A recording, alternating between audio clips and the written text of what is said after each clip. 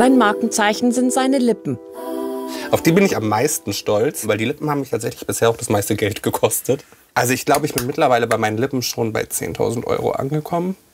Und das ist halt dafür, sind sie mir einfach viel zu klein. Stefan Streubel liebt es aufzufallen. Wie sollen denn deine Lippen aussehen? Also wie groß?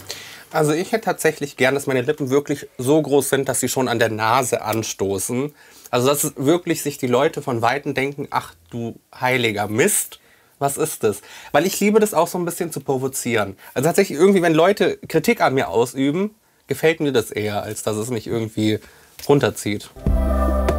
Und manchmal geht auch was schief. Ich habe mir tatsächlich schon mal die Mundwinkel mit Botox unterspritzen lassen, damit ich nicht mehr lächeln konnte. Das war auch ganz witzig. Ähm, nur dann musste ich tatsächlich beim Essen immer meine Hand vor den Mund halten, weil ich immer mit meiner tauben Lippe das Essen vom Löffel gestoßen habe. Das war ein bisschen unpraktisch, aber es war ganz witzig. Leben und leben lassen. Das Motto nicht nur an seinem Geburtstag. Ich würde mal sagen, den stellen wir am besten auf den Stehtisch, oder? Ja. Okay. Auf Stefan. Yay. Freunde wie Lisa gefällt sein ausgefallener Geschmack nicht unbedingt. Doch das heißt ja nicht, dass man sich deswegen nicht mag. Schön aussieht. Also, er ist mega crazy und verrückt. Ich kann mit ihm allen möglichen, alle möglichen Sachen besprechen. Oh je, wenn man wüsste. Ähm, aber er ist auch sehr, sehr hilfsbereit. Und seine extreme Art, künstlich aussehen zu wollen? Ich habe halt gemerkt, ihn macht es glücklich, ihm gefällt es so, wie er das macht. Und wenn er glücklich ist und es wirklich machen will, ich meine, abhalten kann ich ihn eh nicht. Wer ihn kennt, der weiß das. Und solange es ihm gefällt und er seine Gesundheit damit nicht gefährdet, dann finde ich es auch okay. Das ist auch kein Spleen, den Stefan Streubel gerade einfach mal so hat. Oh, mach mal noch einen. Ich wusste schon immer, was ich will, aber vor allem, ich wusste es auch schon sehr früh. Auch schon mit 14 wollte ich meinen ersten Nase, meine erste Nasen-OP haben. Und ich, ich, ich, weiß gar nicht, wann ich das erste Mal das Ziel hatte, dass ich wirklich Plastik aussehen will. Also künstlich. Aber das war auch, also da war ich wahrscheinlich auch tatsächlich erst um die 14 Jahre alt rum. Und jetzt ist er 29 und sieht nicht mehr so aus wie früher vor all den kosmetischen Eingriffen. Seine Wangen, seine Nase, seine Stirn sind gefüllt mit Botox. Sein Doppelkinn hat er mit einer Fettspritze bearbeiten lassen. Sein Haaransatz ist transplantiert. Und der nächste Eingriff steht an. Fett absaugen in den Wangen und am Doppelkinn. 3000 Euro kostet das. Pforzheim heißt sein Ziel.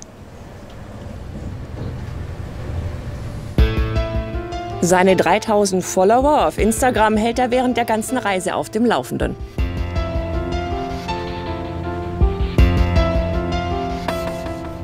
Wir begleiten ihn allerdings nur bis zum Eingang. Keine der angefragten Praxen, und das waren einige, wollten uns drehen lassen. Offenbar möchte keiner nach außen solch einen Patienten behandeln.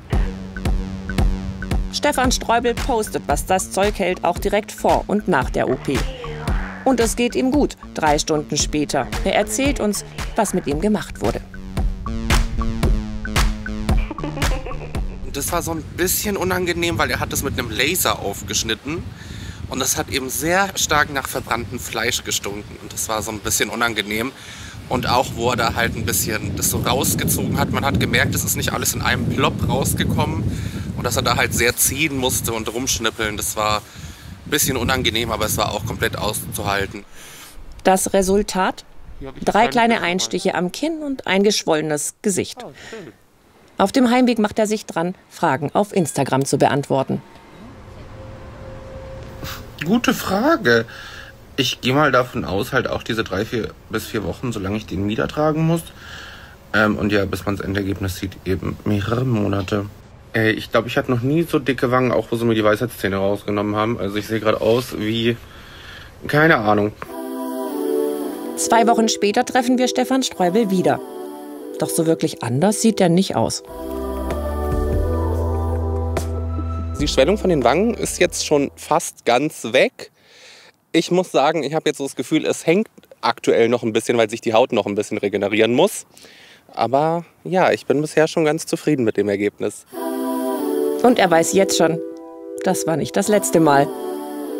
Also ich glaube tatsächlich schon, dass Schönheits-OPs auch einen Suchtfaktor haben, genauso wie Tattoos. Weil direkt nach der OP dachte ich mir schon so, Mist, was will ich als nächstes machen lassen?